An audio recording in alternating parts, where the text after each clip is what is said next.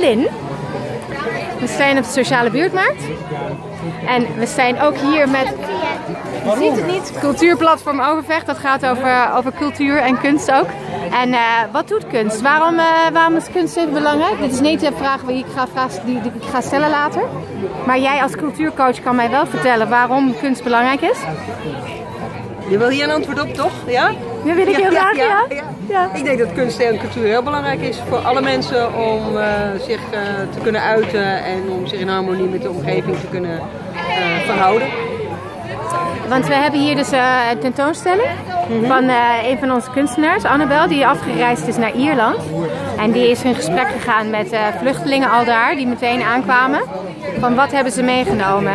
-hmm. En mijn vraag aan jou is, als jij een uur de tijd had om te vluchten, of uh, om, om je klaar te maken, want je moest gaan vluchten naar een onbekend land of wat dan ook. Wat zou jij in je rugzak stoppen? Wat zou ik in mijn rugzak stoppen? Ja. Uh, mijn mobiel. Uh, warme, warme kleding. Plastic. Plastic. Plastic tassen. Plastic. Ja, waarom plastic? Beschermt tegen van alles. Tegen de kou, tegen de warmte. Je kan er dingen in bewaren, je kan er dingen in goed houden. Uh, ja. Plastic. Uh, en met tandenborstel. en dat was het? In eerste instantie ja, natuurlijk. Als, van, uh, als het nood is, dan, uh, dan dat. Ja, ja, ja, ja, ja zeker. Dus dat zijn hele praktische dingen inderdaad. Ja.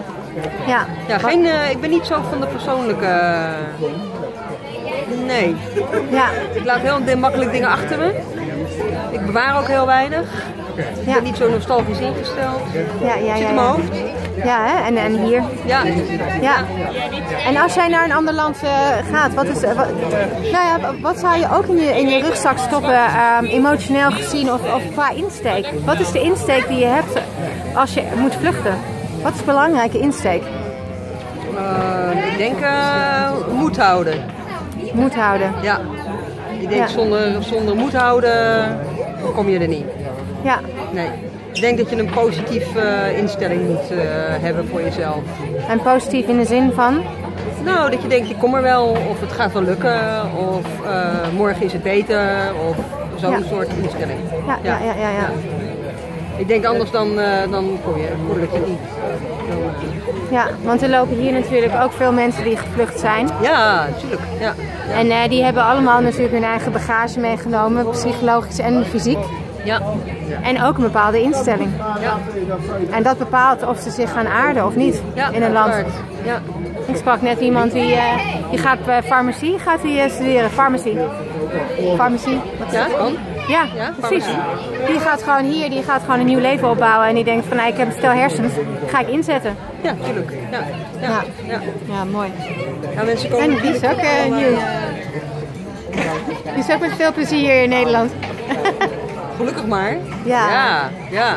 Ja, En ik denk ook dat veel mensen die hier uiteindelijk terechtgekomen zijn, zeker hier ook in, uh, in Overvecht, dat zijn de overlevers. Dat weet, dat weet je wel bijna zeker. Dit, zijn mensen die, die, die kunnen en willen er ook echt wat van maken. Hoewel ik wel heel erg bang ben dat ze zo getraumatiseerd zijn dat het best wel heel moeilijk kan gaan worden. Maar, uh, nou, ik vind het heel fijn dat ze er zijn. Dat ik het zo zeg. Ja, ja.